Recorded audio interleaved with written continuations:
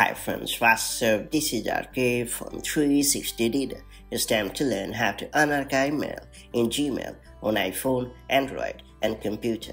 Archiving is a neat way to keep specific emails at a fair distance, especially the lesser important ones. To me, it's a smart tool that prevents the inbox from being cluttered. However, the process of unarchiving a mail in Gmail is a little confusing, which is why I thought it would be better to create a hands-on guide about it. That said, let's get started.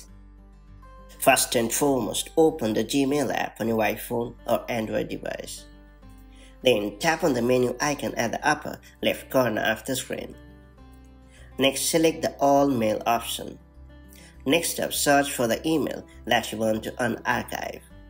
Up next, choose the Move option in the menu and find the preferred folder where you want to move the email and you are good to go.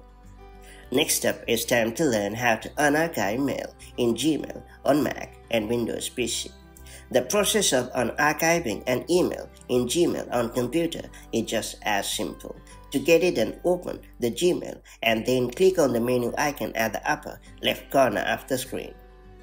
After that, choose All Mail option.